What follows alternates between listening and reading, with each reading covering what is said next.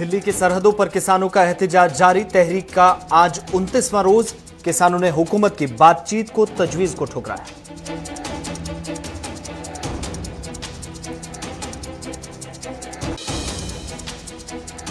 किसानों की हिमायत में आई कांग्रेस। कांग्रेस के सबक सदर राहुल गांधी की क्यादत में एहतजाजी मार्च निकालने की तैयारी। सदर हिंद से कांग्रेस लीडरान करेंगे मुलाकात। मेमोरेंडम दिया जाएगा।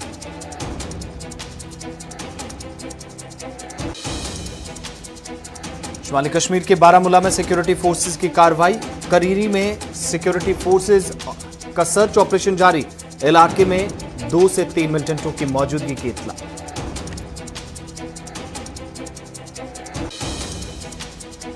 मुल्क के शुमाली हिस्सों में सर्दी की शदीद लहर जारी चिल्ला कलान का चौथा दिन, सयाती मकाम गुलमर्ग में नए साल की जश्न की तैयारी।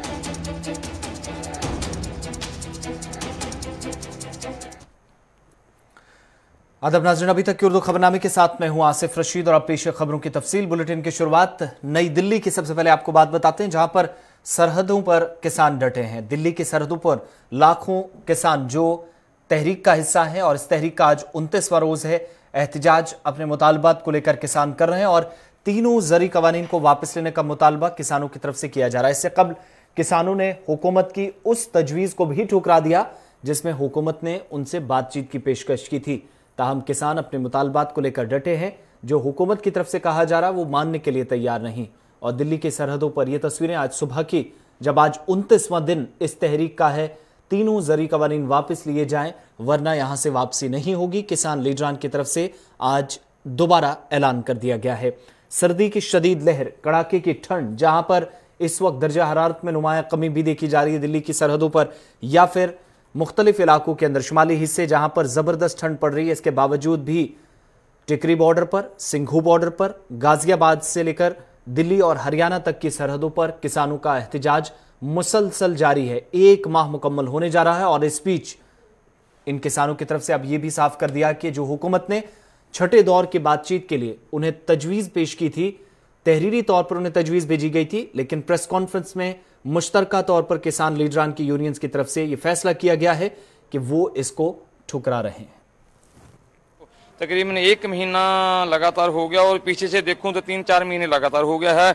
और हम सुबह सुबह जो चाय पानी का सेवादार आए हैं, दिल्ली से हर रोज आते हैं, वे सेवा करते हैं खाने पीने का सामान लेके आते हैं। तो मैं एक बात कहूँ कि संघर्ष, ऐसा संघर्ष बन गया है, जब तक ये संघर्ष जो हमारे काले कानून रद्द नहीं हो जाते, तब तक हमारा संघर्ष लगातार जो है, वो जारी रहेगा। हमारे हौसले जो बुलंद हैं और पीछे से बहुत से लोग हर रोज सुबह में आते को दिन में आते हैं, और जो दो पाँच बंदा पीछे से किसी मजबूरी से जाता और दस बंदा और आ जाता है, और लगातार जो हमारा संगठन है, जो रश है, जो इकट्ठ है, लगातार बढ़ता जा रहा है तो तब तक मैं एक बात ज़रूर कहूँ कि सरकार को जितनी जल्दी हो सके इसको रद्द कर देना नहीं तो संघर्ष और बड़ा होएगा और इसका कोई दायरा नहीं है कि एक दिन चलेगा, दो दिन चलेगा, जो छह महीने भी संघर्ष चलना पड़ा तो चलेगा। सभी लोग तैयार हैं, सभी देश तैयार हैं और वर्ल्ड की हमें जो है, वो सहायता वर्ल्ड का हमें जो सहयोग है, वो मिल रहा है। इसलिए सरकार को चाहिए इसको बढ़ाने की तरफ़ ना जाए और जल्दी इसको हल करें, तब तक संघर्ष हम जारी रखेंगे। हम पक्के हैं जब तक हम जो काले कानून रद्द नहीं करा देते। देखिए, सरकार से शुरुआती दौर से वार्ता चल रही है। और जब भी सरकार का ऑफ़र आया, हमारे जो कोऑर्डिनेशन कमेटी के मेंबरान हैं, वो सरकार से बात करने गए। और सरकार को छह चक्र की वार्ता में ये समझा दिया गया कि कम से कम एक दर्जन ऑब्जेक्शन सरकार ने स्वीकार किए। ये छह चक्र की वार्ता की उपलब्धि अब गैंग सरकार के पाले में थी कि उनको ये तय करना था, तीन कानूनों में छह ऑब्जेक्शन उन्होंने स्वीकार किए तो इससे उन कानूनों की बुनियाद हिल जाती है, उनका वजूद खत्म हो जाता है, लगभग। तो सरकार को चाहिए था, कानूनी बड़े बड़े सलाहकार हैं गाइडलाइन सर्वोच्च न्यायालय की भी आई, सरकार को चाहिए था कि स्वतः इन कानूनों को व्यक्त कर लेकिन फिर एक गोलमोल सा पत्र आया कि सर, किसान तय करें, कब वार्ता करना चाहते हैं, इन बिंदुओं पर वार्ता करना है।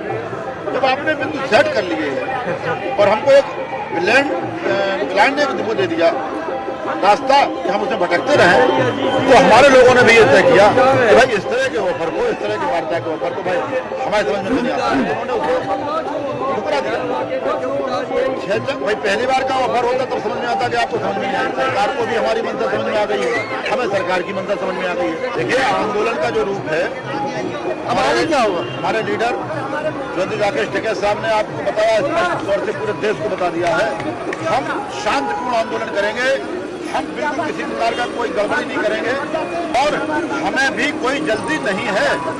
ये जाड़ा, ये ठंड हमारे मार्ग को अवरुद्ध नहीं करेगी, हमारे संकल्प को और मज़बूत करेगी, क्योंकि इसी जाड़े में रह करके हम अपनी फ़सल उगाते हैं और इस जाड़े में रह करके हम आंदोलन किसानों का एहतजाज एक तरफ़ जारी तो जरी कवानीन के खिलाफ मरकजी हुकूमत पर मुसलसल दबाव बढ़ रहा है और कांग्रेस पार्टी किसानों के हक में लगातार ज़ोर शोर से आवाज़ भी उठा रही है। जिमन में आज कांग्रेस के सबक सदर राहुल गांधी की क्यादत में एहतजाजी मार्च निकालने की तैयारियाँ की जा रही थी और इस बीच थोड़ी देर पहले कांग्रेस लीडरान की मुलाकात हुई। एहतजाजी मार्च के बाद पार्टी का एक नुमाइंदा वफद सदर हिंद से मुलाकात करेगा। रामनाथ कोविंद से मुलाकात के दौरान कांग्रेस लीडरान की तरफ़ से उन्हें एक मेमोरेंडम सौंपा जाएगा।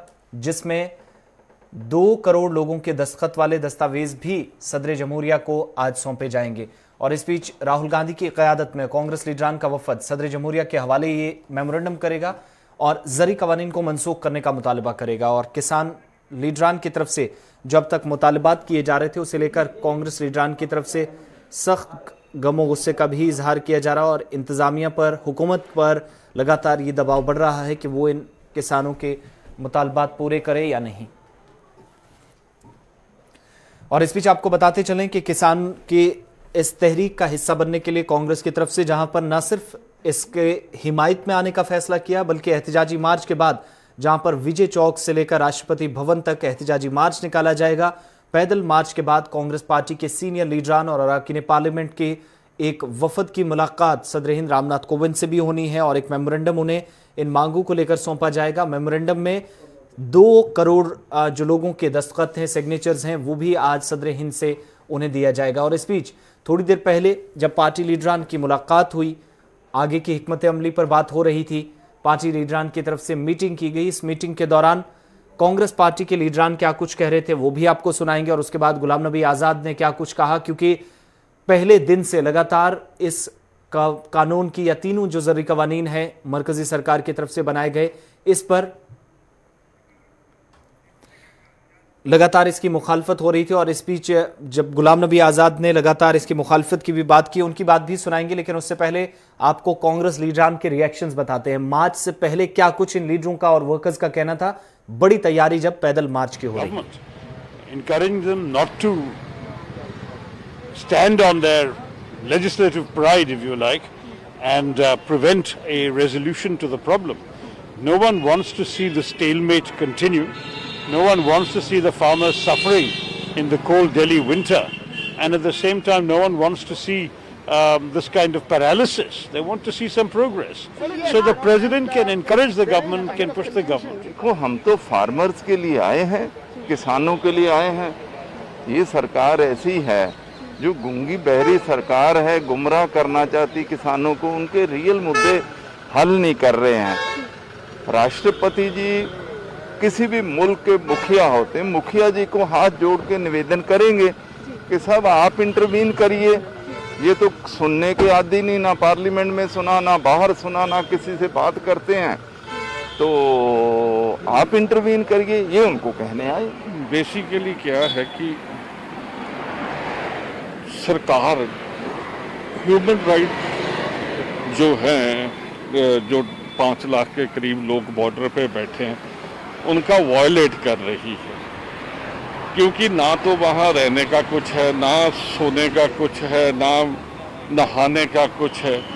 सो so, इससे मैं समझता हूँ कि लोगों का जो ह्यूमन राइट्स वायलेट हो रहे हैं सरकार को अब इसको अपने संज्ञान में लेना चाहिए और इसका जल्दी से मसला हल करना चाहिए। सोनिया गांधी जी से लेकर राहुल गांधी जी से लेकर और हम सबने मिलकर लोकसभा, राज्यसभा और पार्टी स्तर पर, राज्यों में भी और दिल्ली में भी प्रयास किया कि जो कानून बना पार्लियामेंट में वो सरसमती से नहीं करा उसने विपक्ष का कोई सहयोग नहीं है, सहमति नहीं है, और कांग्रेस पार्टी का तो बिल्कुल कोई सहमति नहीं है।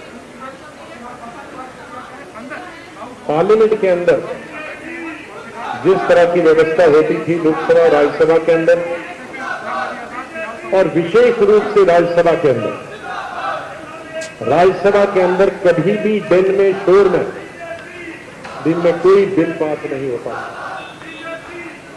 ये पहली दफ़ा हम देख रहे हैं कि पिछले साल अगस्त से 5 अगस्त जब कश्मीर की स्टेट ले ली और उसको दो हिस्सों में डाउनग्रेड करके दो किए तो पार्लियामेंट की जो प्रोसीजर्स है, उसको बालाटाप रख दिया।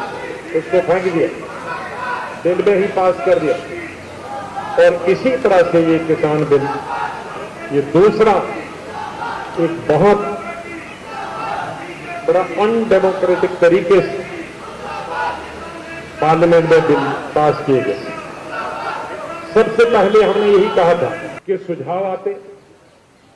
स्टैंडिंग कमेटी फार्मर्स ग्रुप्स को लीडर्स को पूरे देश की बारी बारी बुलाते।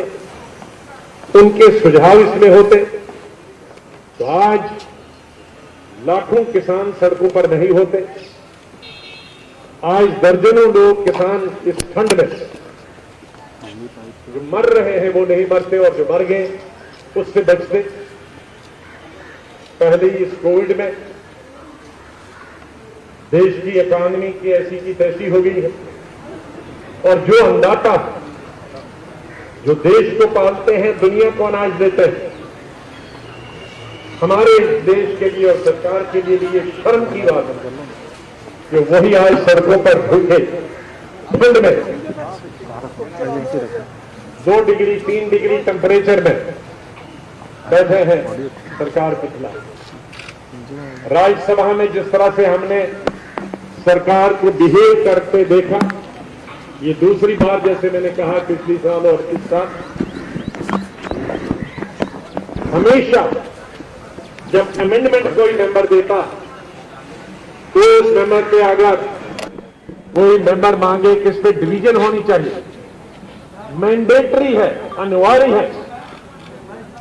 रूल के अंदर पार्लियामेंट के रूल के अंदर, लोकसभा हो या राज्यसभा के रूल के अंदर, कि चेयर को उसे डिवीज़न करने की अनुमति देनी है और सब उसमें वोट कर सकते हैं। यहाँ शोर में हमारे तीन चार मुझे है आसाम के पीसीसी प्रेसिडेंट यहाँ मौजूद नहीं है। दो चार लोग और हमारे डीएमके के जो आ, लीडर है राज्यसभा में रुचि सेवा वो खड़े थे और डिवीज़न पे डिवीज़न मांग रहे थे। लेकिन डिवीज़न नहीं मांगी और बिल पास कर दिया। कानून ये पहली दफ़ा रेजोल्यूशन मूव करने नहीं उस हाउस में, क्योंकि हमारे हाउस के कुछ मेंबर लोकसभा में थे। उस हाउस के एमपीज को तो पता ही नहीं चला क्या हुआ।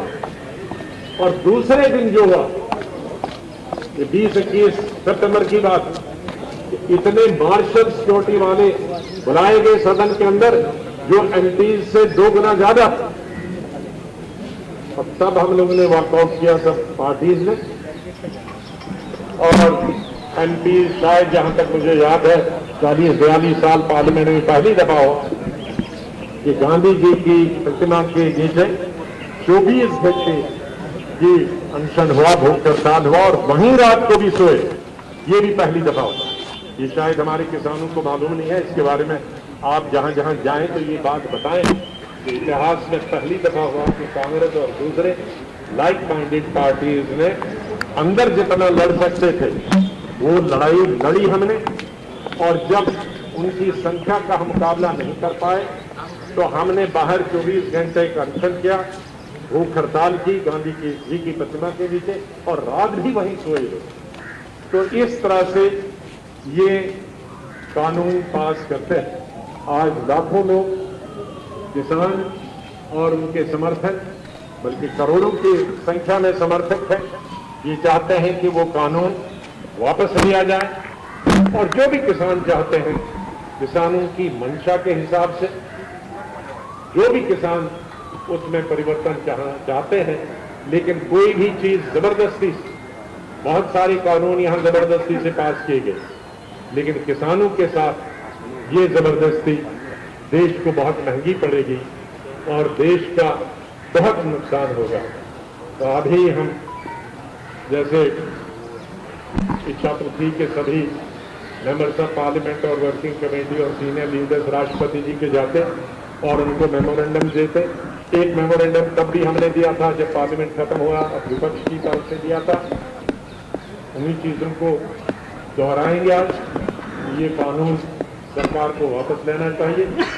लेकिन कोर्ट की वजह से तब भी राष्ट्रपति जी ने दो, तीन, चार लोगों की अनुमति दी थी और बाद में एक ही आदमी की अनुमति दी। तो आज भी दो तीन से ज़्यादा लोगों को अनुमति नहीं है। लेकिन हम सब कांग्रेस पार्टी को रिप्रेजेंट करेंगी और उन किसानों को भी रिप्रेजेंट चले कांग्रेस की बड़ी तैयारी, थोड़ी देर में सदर हिंद से एक वफद मुलाकात करेगा। इस मार्च के बाद और मेमोरेंडम सौंपा जाएगा। सदर हिंद रामनाथ कोविंद को कांग्रेस के तीन अरकान पार्लियामेंट राहुल गांधी के साथ जा सकते हैं। कुल मिलाकर तीन लीडरों की मुलाकात हो सकती है जो अभी तक इतलात मौसू हो रही है और इस दौरान वो दो करोड़ दस्तखत भी आज जो सदर हिंद के सामने रखे जाएँगे। मुतालबा ये किया जाएगा, हुकूमत पर दबाव बनाने की जो कोशिश है कि जरी कवानीन को वापस लिया जाए और सड़कों पर बैठे पाँच लाख के करीब किसानों की मांग सदर हिंद के ज़रिए हुकूमत तक पहुँचाने और कवानीन को मनसूख करने के जो अपनी बात है, वो कांग्रेस सामने रखेगी। बढ़ते आगे बात शुमाली कश्मीर की, जहाँ पर बारामूला ज़िले में सिक्योरिटी फोर्सेस की कार्रवाई चल रही है। करीरी में सिक्योरिटी फोर्सेस की जानब से करीब चार घंटों से सर्च ऑपरेशन चलाया जा रहा है। वानीगाम इलाका सिक्योरिटी फोर्सेस को यहाँ पर इनपुट्स मिली थी। उस वक्त मुश्तर कार्रवाई शुरू हुई। जम्मू कश्मीर पुलिस, फौज और सीआरपीएफ की, जब इलाके में चंद मिल्टन के मौजूद होने की खुफिया इतलात सिक्योरिटी फोर्सेज तक पहुँची। जराये के मुताबिक इलाके में एक जोरदार धमाका भी हुआ। गोलियाँ चलने की आवाज़ भी सुनाई दी गई, जिसके बाद मुहासरे को वसी कर दिया गया और इस वक्त करीब चार घंटे हो चुके हैं सर्च ऑपरेशन इस इलाके के अंदर जारी है। जम्मू कश्मीर पुलिस भी फौज के साथ इस ऑपरेशन का हिस्सा है और दूसरी तरफ़ सीआरपीएफ की मदद से भी इस ऑपरेशन को चलाया जा रहा है। एहतियातन घर घर की तलाशी भी इसलिए शुरू हुई ताकि इस इलाके में मिलिटेंटों की मौजूदगी की जो इतलात थी ऑपरेशन के दौरान किसी आम शहरी को नुकसान न पहुँचे, इस चीज़ का ख्याल रखते हुए इस ऑपरेशन को मजीद आगे बढ़ाया जा रहा है। चार घंटे हो चुके हैं और ये ऑपरेशन अभी भी जारी है। तीनों जो मुसल्ह अफवाज हैं, दोनों मुसल्ह अफवाज और उनके साथ साथ जम्मू कश्मीर पुलिस भी सिक्योरिटी फोर्सेस की मदद दे रही है इलाके के अंदर। हालाँकि इस इलाके के अंदर जहाँ पर चंद मिलिटेंटों की मौजूदगी की इतलात मिली थी और चार घंटे लगभग हो रहे हैं जब ये सर्च ऑपरेशन अभी भी जारी है। बीच में धमाके की भी आवाज़ें सुनाई दी गई इस इलाके के अंदर। जोरदार धमाका हुआ, गोलियाँ भी चली, जो इतलात मौसू हो रही है। सीधा ग्राउंड ज़ीरो पर चलते हमारे नुमाइंदे राही निसार, हमारे साथ हैं राही। क्या कुछ ताज़ा तरीन तफसीत हैं? ओवरऑल ऑपरेशन किस वक्त शुरू हुआ और अब लेटेस्ट अपडेट क्या है?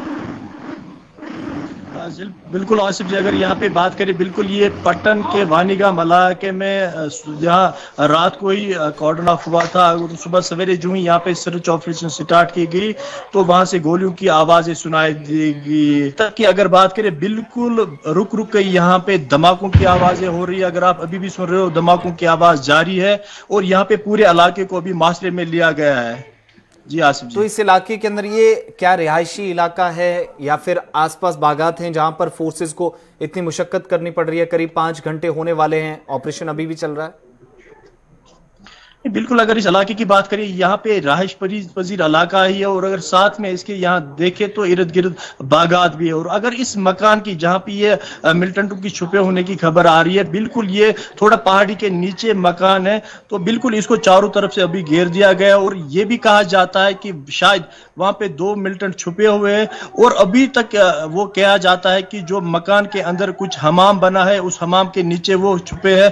क्योंकि अगर गोलियों की आवाज़ की बात करिए गोलियों की आवाज़ आवाज़ तो अभी नहीं आ रही है, खाली यहाँ पे धमाकों की आवाज़ अभी सुनाई दी जाती है। मजीद तकरीबन कितना वक्त लग सकता है और क्या इंटरनेट खदमात भी मुतल रखी गई थी पहले या फिर कोई एहतियातन फैसला लिया गया था? नहीं, बिल्कुल इंटरनेट की बात अगर करें, इंटरनेट यहाँ पे अभी चल रहा है, इंटरनेट को बंद नहीं किया गया है। अलबत् इलाके की अगर बात करें, बिल्कुल इलाके को पूरी तरह से यहाँ पे कोर्डन ऑफ़ किया गया। अगर यहाँ पे सीआरपीएफ या 29 आरआर या पुलिस बारामूला की बात करें, पूरे इलाके को मुहासरे में लिया गया है और जो भी यहाँ पे रास्ते आ रहे हैं या जा रहे हैं, उनको सील कर दिया गया है। अभी ये कहना मुश्किल है कि कितना टाइम लगेगा, क्योंकि अगर अभी धमाकों की आवाज़ आप सुन रहे हो कि बीच बीच में खाली अभी धमाके हो रहे हैं यहाँ पे तो अभी ये कहना मुश्किल है कि कितना टाइम अभी लग सकता है, क्योंकि मैंने जो कहा कि जो ये मकान है जहाँ पे छुपे होने की खबर है, ये बिल्कुल वहाँ पे नीचे मकान है और वहाँ पे शायद अभी सिक्योरिटी फोर्स को मुश्किल आ रही है कि उस मकान के करीब पहुँचने में, क्योंकि अगर बात करिए गोलियों की गोलियाँ तो अभी नहीं चल रही है, खाली अभी बीच बीच में धमाके यहाँ पे हो रहे हैं। ये जो धमाकों की आवाज़ें आपके पीछे सुनाई दे रही है, ये उस तरफ़ से मिलिटेंट्स की तरफ़ से की जा रही है या फोर्सेज इस्तेमाल कर रहे हैं? शायद ये अभी हमारे लिए कहना मुश्किल है क्योंकि हमें थोड़ा बहुत वहाँ एनकाउंटर साइड से बाहर रखा गया है। अलबत्त ये हम कह सकते हैं, शायद ये अभी फोर्सेस ही यहाँ से इस्तेमाल कर रही है। क्योंकि अगर मिल्टन टू की बात करें, सुबह से अभी तक शायद ये कहने में आ रहा है कि मिल्टन टू की तरफ़ से अभी वहाँ से कोई फायर नहीं आ रहा है। तो अभी शायद फोर्सेज ही आगे जाने की कोशिश कर रहे हैं, जिनकी मदद से अभी ये वहाँ पे धमाकों का इस्तेमाल कर रही है, ताकि ये उस निशाने तक पहुँचे जहाँ पे अभी मिल्टन छुपे हैं। राही जहाँ मौजूद है शोर शराबा काफ़ी है अफरा तफरी का आलम है क्या ये शहरी हैं मकामी हैं जिनको बाहर निकाला गया है? बिल्कुल वहाँ पे जो मकानात इर्द गिर्द इसके है वहाँ पे जो भी लोग थे उनको यहाँ पे सुबह सवेरे सिक्योरिटी फोर्स ने निकाला था।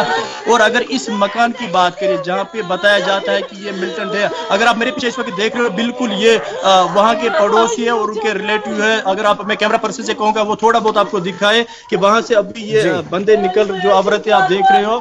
बिल्कुल ये आवरतें उस घर के बताया जाता है कि उनके ये रिलेटिव है क्योंकि अगर उस घर वाले की बात करें, वो घर वाला शायद उस मकान में मौजूद नहीं था, क्योंकि बताया जाता है कि वो मकान बाहर से बिल्कुल लाख था और घर में जो अफराद खाना है, वो घर में मौजूद नहीं थे, वो कहीं पे गए थे। अब बता जो उनके रिलेटिव है, इस वक्त बाजाबता मेरे पीछे देख रहे हो, इस वक्त वो रिलेटिव को वहाँ से निकाला जा रहा है और जो भी इर्द गिर्द वहाँ पे बस्ती है, उनको भी बाजाबता तौर से वहाँ से अभी निकाला जा रहा है। बहुत बहुत शुक्रिया, नज़र रखिएगा इस खबर पर। फ़िलहाल तफसीत ये आ रही है शुमाली कश्मीर के पटन से कि सर्च ऑपरेशन अभी जारी है? शहरियों को जो इस इलाके के आसपास है, उन्हें ज़रूर निकाला गया है, लेकिन जो राही बता रहे थे कि जिस घर में मिल्टन मौजूद है, वहाँ इतलात फोर्सेस को यह है कि यहाँ पहले से ये लॉक्ड था घर, लेकिन इसके अंदर दो मिलिटेंट हो सकते हैं और कार्रवाई मुश्तर तौर पर सिक्योरिटी फोर्सेज और जम्मू कश्मीर पुलिस की इस वक्त चल रही है।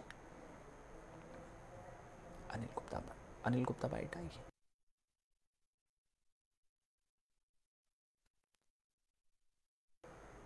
फौजी सरबराह जनरल मनोज मुकुंद नरवाने जो कि लद्दाख पहुँचे थे और उन्होंने मशरकी लद्दाख के फलकबोस पहाड़ियों पर चीन के साथ लगने वाली सरहद पर फौजी तैयारियों का जायजा लिया। फौजी सरबराह का दौरा बीजिंग के साथ, जो गुजश्ता सात माह से ज़्यादा अरसे से जारी फौजी तनाव है, इस बीच ये दौरा किया है और रिचिन इलाके में अगली चौकियों पर भी हकीकी कंट्रोल लाइन की सूरत हाल का जायजा लिया है। दोनों अफवाज आमने सामने खड़ी थी, तब से लेकर आज सात माह तक सूरत हाल यह है। कि आज फौजी सरबराह का मुसलसल ये तीसरा दौरा है, जब से ये तातुल शुरू हुआ है। इस पर दिफाई तजिया निगार क्या कुछ कहते हैं, वो भी आपको बताते हैं।